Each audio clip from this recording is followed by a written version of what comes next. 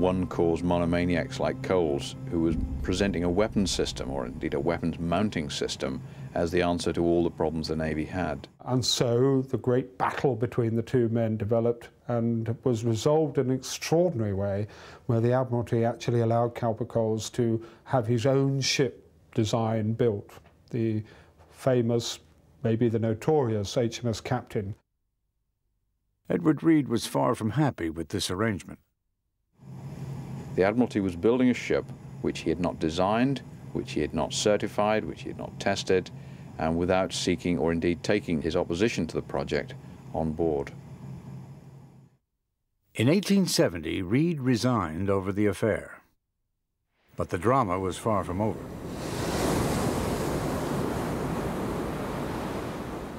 The captain ended up proving that Cowper Coles was not much of a hand at designing ships.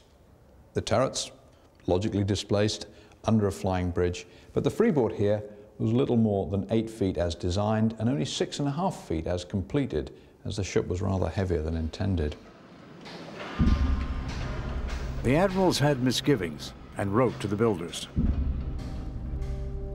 I am commanded by the Admiralty to call your attention to the fact that the stipulated draught of water at the captain has been exceeded by 22 inches at least and that the qualities of this ship may be prejudicially affected by this error.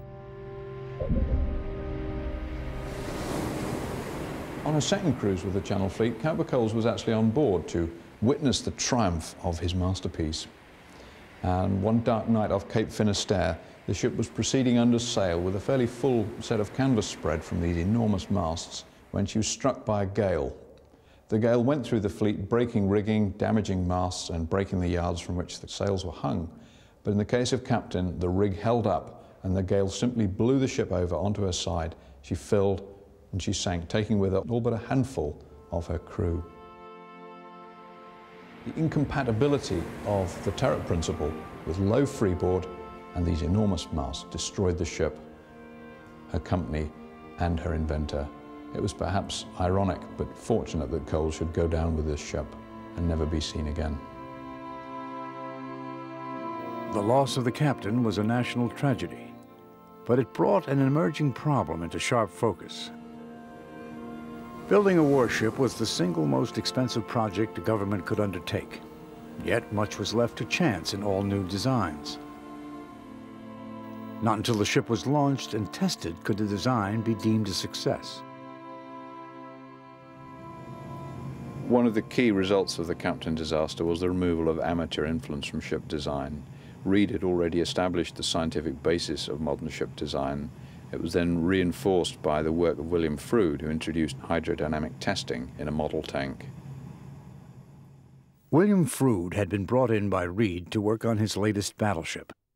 It was Froude's idea to make wax-scale models and to test them for performance, both at sea and in test tanks. This more scientific approach helped produce one of the milestone battleships. Even before Captain entered service, Edward Reed decided the answer was to get rid of the masts and to build a pure steamship. And this, HMS Devastation, would be his masterpiece, entering service in the early 1870s with her turrets fore and aft, two 25-ton guns in each, pair of funnels for her steam engines, and a mast simply to carry signals and to indicate her nationality. But the turrets are mounted significantly higher than they were in the Captain. Reed developed the principle which he called the breastwork monitor, separating her from Ericsson's original by carrying the turrets further up in the ship so that the guns actually had a higher command and were less likely to be swamped by the sea. With devastation, launched in 1871, the modern battleship was beginning to emerge. And a year later, pressure from Reed on Froude's behalf resulted in the construction of the world's first marine test tank.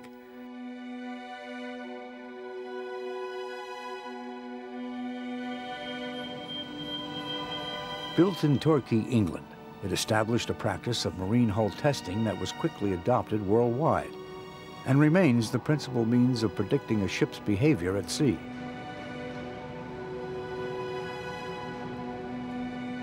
Froude's contribution allowed people to have much greater confidence in the design of ships. They could actually be tested in a realistic, measurable way under ideal conditions.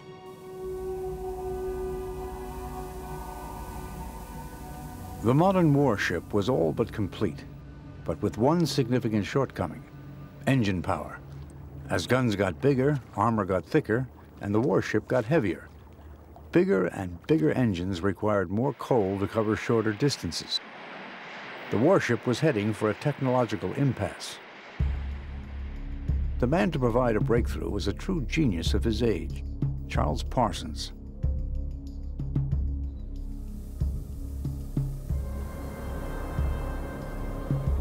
Inspired by an ancient Greek device called the aeolipile, he used a jet of high-pressured steam to spin an intricate set of propeller blades, thus creating a very high-speed engine, or turbine.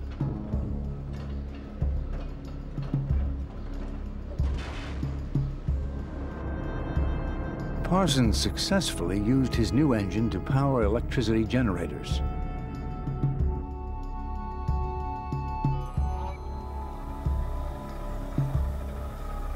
But he had a bigger dream, to build the fastest ship on Earth.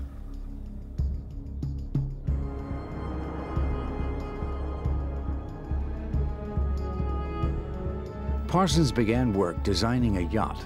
No shipbuilder himself, he got others to do the building. But the means of propulsion would be his new turbine, so he named her Turbinia. After a great deal of planning, she was finally ready for testing on the Tyne River. Parsons' turbine was a high-speed, high-powered engine, theoretically capable of high performance. But in test after test, it failed to live up to expectations. When he installed his steam turbine, he was very disappointed because he couldn't achieve even 20 knots whereas he was hoping to achieve 30 to 40 knots with the steam turbine. Tests showed that this was nothing to do with the turbine, but it was the propeller that was at fault. And being bright, he then decided to try the propellers. And this showed that cavitation was the problem.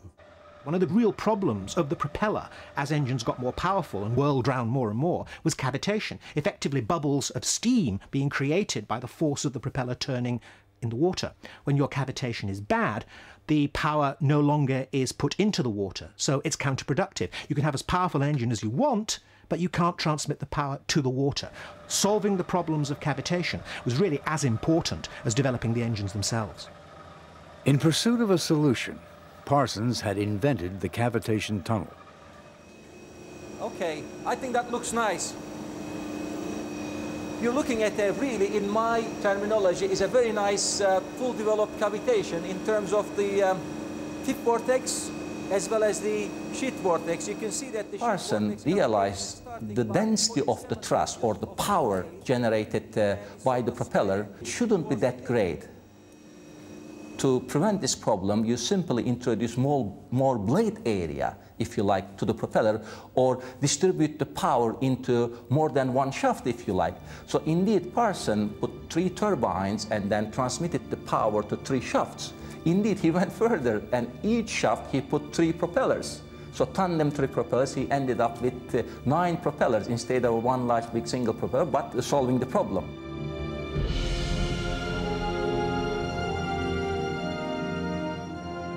Parsons' dream was about to become a reality.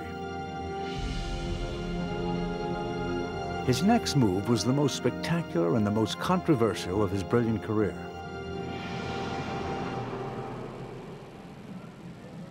The year was 1897, and all the crown heads of Europe were gathering off Portsmouth to celebrate Queen Victoria's Diamond Jubilee. The venue was the annual Fleet Review,